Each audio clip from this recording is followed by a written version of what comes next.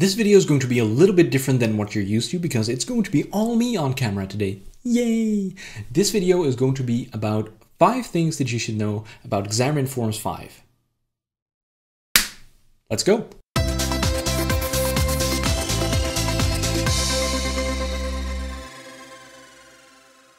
So the five things you need to know about Xamarin Forms 5. Let's start with number five, which is my personal favorite because it is about the UI web view removal.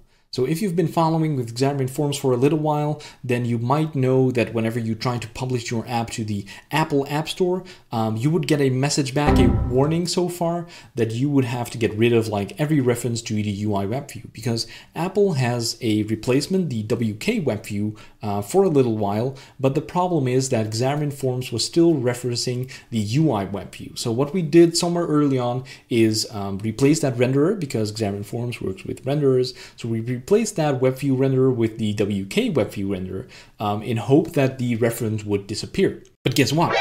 It didn't. Um, so we worked with the Xamarin iOS team to, um, you know, also apply like the linking behavior, which basically um, gets rid of all the APIs that you're not using in the app. It will just throw them away. Um, and, and that causes some issues sometimes. Uh, but that wasn't applied to Xamarin Forms. So each type would still be in that Xamarin Forms um, binary, including the UI web view, which caused a lot of issues for people because they couldn't get rid of that UI web view. So we worked with the Xamarin iOS team to enable some kind of compiler flag that would take out that reference um, so that people could uh, again apply their apps for the App Store. And I personally, um, other on, others on my team as well, but me personally have taken up the challenge to um, um, answer as many questions as there were out there, helping as many people as I could that were having problems with this. Um, so, you know, my personal favorite is this one um, because in Xamarin Forms 5, the WebView renderer is dropped. Um, the UI WebView reference is not there. You don't have to do anything special anymore. You can just use Xamarin Forms 5, don't do anything else, and you can release your app to the iOS App Store. Um, if you're using a, a, a, lower version than Xamarin Forms 5, you can still do it, but you have to jump through a couple of hoops, set a couple of things up right, and then you can still do it. But if you have the possibility, upgrade to Xamarin Forms 5, and you will have no problem at all. Then, number four, the experimental features will disappear. Poof! So there was a number of experimental features in, uh, well, all the way up to Xamarin 4.8. Um, the, the, expander, the media element, the C Sharp for markup stuff. Um, I think the brushes and the uh, shapes and paths were all experimental.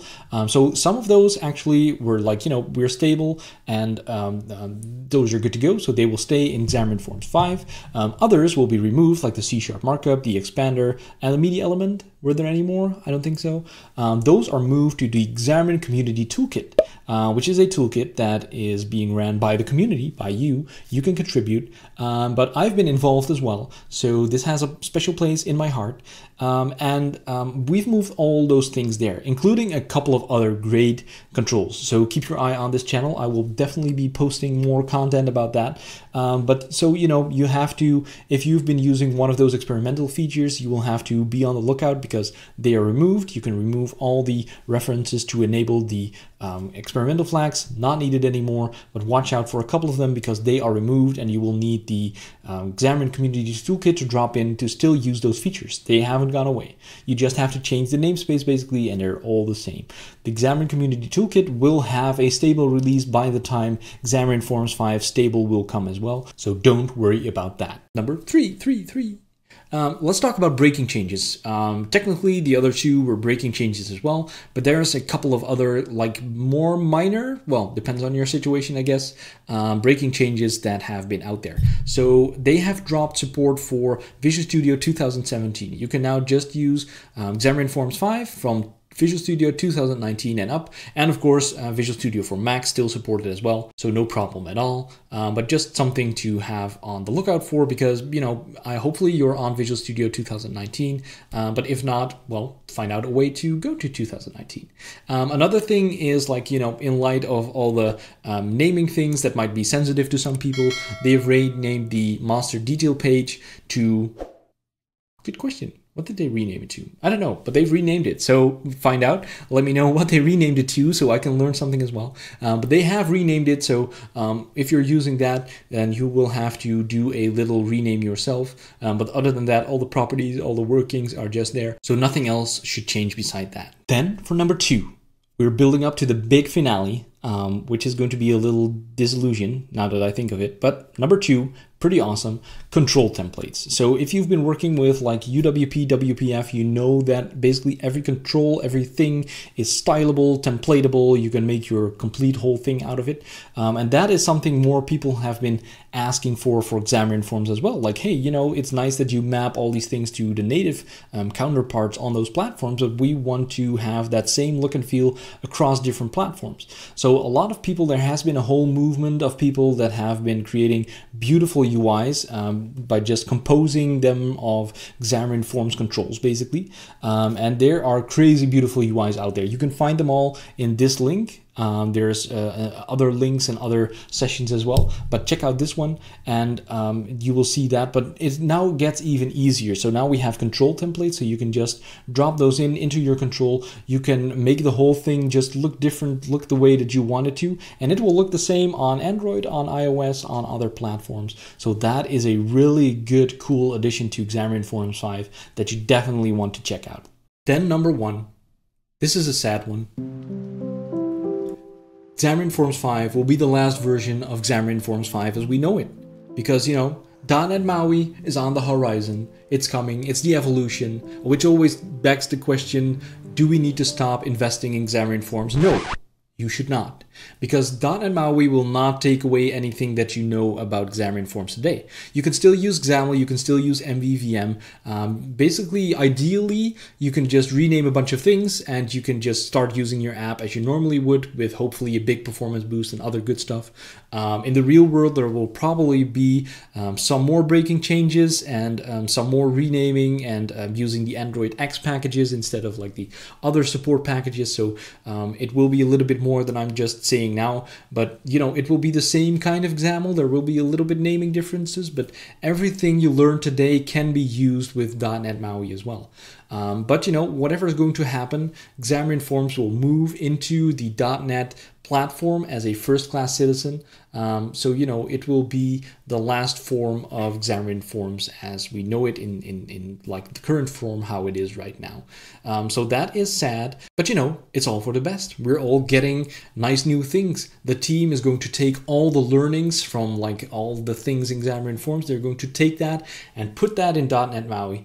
And um, so, like I said, nothing is going to be taken away from you, but things are going to be added. So you can suddenly use now um, probably uh, also an evolution of the C sharp markup things to write your UI in um, C sharp with even nicer syntax and nicer things.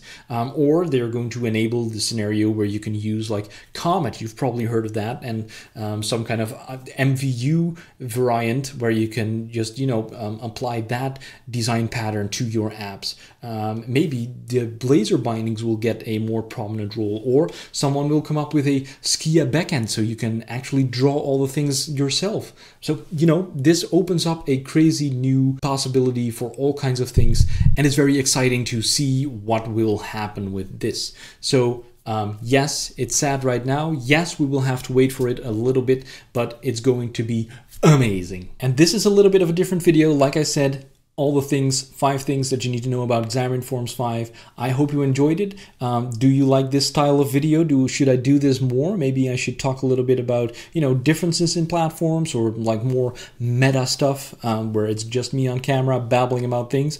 Or maybe you say, hey, Gerald, you're a nice guy, but I love looking at code more than I love looking at you. Um, who knows? I won't be offended much. Um, let me know in the comments. And of course, as always, like this video if you did like it for some extra encouragement um, and um, subscribe to my channel if you haven't done so. And I will be seeing you for my next video. Oh. Oh, before I forget, um, I also introduced like the um, YouTube channel memberships, so you can become a member to support me a little bit more. There's a couple of tiers. You can find it all um, in the join link that is somewhere down here. Um, but I need to do a shout out to Hendrik Witke um, from Germany. Um, so I probably should say it like Hendrik Wittke um, because you know we're Germany is like right there, so we're kind of neighbors. Uh, who has been um, one of the first to join my memberships, so that is really really awesome. And also Antonio Mario Thuler Jr. Um, I'm very sorry if I'm butchering names here uh, because I am very thankful to you to uh, that you joined my YouTube membership channel. So thank you for that. Um, this video is dedicated to you. Um, keep watching and uh, let's keep learning together.